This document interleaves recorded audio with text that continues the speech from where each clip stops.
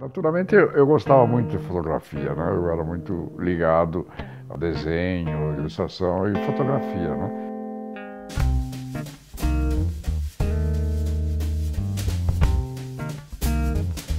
Eu não consegui fazer o científico aqui no Brasil. Não conseguia. Eu não tinha nota, não fazia nada, eu não me interessava para a escola.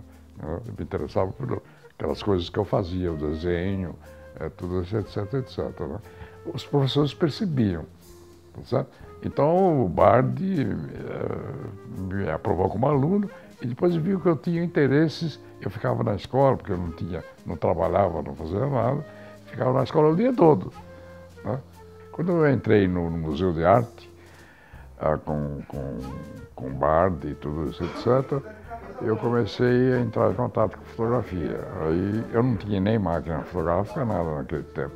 Também lá no Museu de Arte, que era junto com, o outro Museu de Arte Moderna, lá no mesmo prédio, na 7 de Abril, a gente tinha contato com vários uh, elementos que faziam esse tipo de coisa, a gente conversava sobre isso. Né?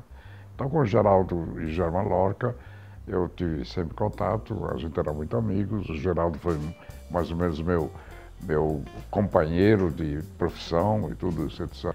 E é, fiz a exposição do, do Max Bill, e com o Max Bill eu comecei a perceber o que era o design, o que era a, a, a, dizer, a arte, em função das proporções, em função da matemática, e é, tudo isso, etc.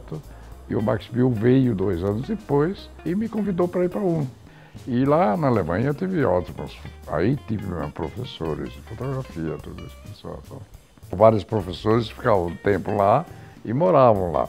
Então eu participava, a gente podia conversar com eles a qualquer hora, tudo isso, etc, etc. É uma escola maravilhosa, que, que a gente tinha a possibilidade de, de viver juntos. Eu me entrosei com fotografia mesmo, né? Porque lá em Ulm a gente teve uh, os, os ateliês, né? os professores, e a gente funcionava junto, tudo isso, etc.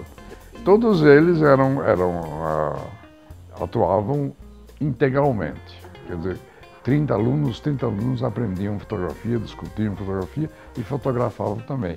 Cada um fazia a sua individualidade, né? Eu tinha um processo uh, de, de, de, aprendizagem junto com, com a escola e aproveitava o tempo da escola para fazer as fotografias também fotografava as aulas, fotografava, fotografava os colegas, fotografava várias situações.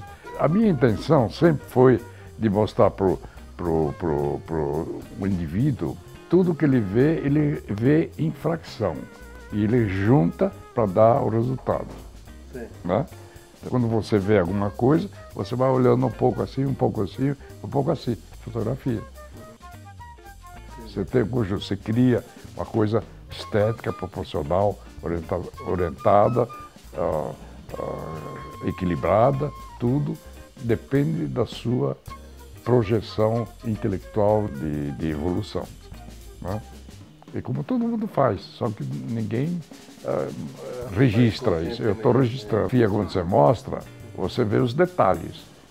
A fotografia não está em detalhes, você vê os detalhes. As fotografias, quer dizer, eu registrava fotografia e não queria apresentar a fotografia como fotografia. Se eu apresentar essa fotografia aqui, uh, talvez ninguém vai entender o que é. Então eu dava toda a fragmentação, eu pegava uma fotografia da árvore e fragmentava ela para dar uma intenção de comportamento de que você pode registrar visualmente da fotografia.